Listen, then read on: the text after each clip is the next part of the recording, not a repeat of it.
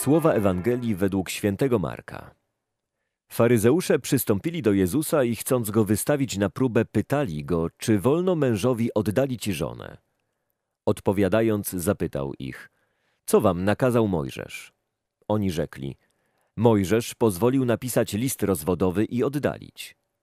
Wówczas Jezus rzekł do nich, przez wzgląd na zatwardziałość serc waszych napisał wam to przykazanie. Lecz na początku stworzenia Bóg stworzył ich jako mężczyznę i kobietę. Dlatego opuści człowiek ojca swego i matkę i złączy się ze swoją żoną i będą oboje jednym ciałem. A tak już nie są dwoje, lecz jedno ciało. Co więc Bóg złączył, tego człowiek niech nie rozdziela. W domu uczniowie raz jeszcze pytali go o to. Powiedział im, kto oddala żonę swoją, a bierze inną, popełnia cudzołóstwo względem niej. I jeśli żona opuści swego męża, a wyjdzie za innego, popełnia cudzołóstwo. Przynosili mu również dzieci, żeby ich dotknął, lecz uczniowie szorstko zabraniali im tego. A Jezus, widząc to, oburzył się i rzekł do nich: Pozwólcie dzieciom przychodzić do mnie, nie przeszkadzajcie im. Do takich bowiem należy Królestwo Boże.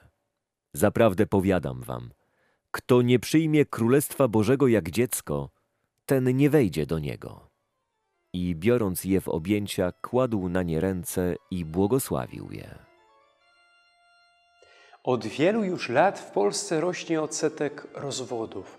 Świat, w którym żyjemy, wmawia nam, że zasługujemy na coś lepszego i szukamy szczęścia po omacku, tam, gdzie go na pewno nie ma. Wymieniamy żony i mężów na nowsze modele, łudząc się, że skoro z tamtym się nie udało, to z tym na pewno się uda, bo ten jest dużo lepszy od poprzedniego. Mentalność konsumpcjonistyczna zmieniła nasze społeczne nawyki. Nie można już mówić o ofiarnej miłości, ale o hedonistycznej konsumpcji. Wszystko można kupić i wszystko się nam należy. Drugi człowiek został zredukowany do przedmiotu nabywanego lub zbywanego. Małżeństwo jest odpowiedzialnością za członków rodziny. Małżeństwo, jeśli jest zawierane z miłości, nastawione jest na troskę o drugiego człowieka. Tak rozumiał i zaplanował je Bóg.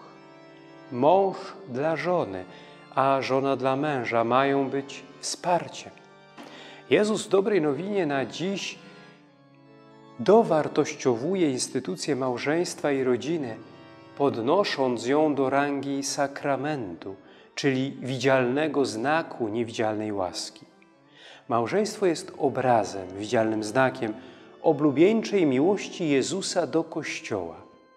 Każda małżeńska zdrada może być sygnałem butwiejącej wiary, degradującej się relacji z Bogiem. Małżeństwo i rodzina są na tyle silne, na ile są zakorzenione w Bogu.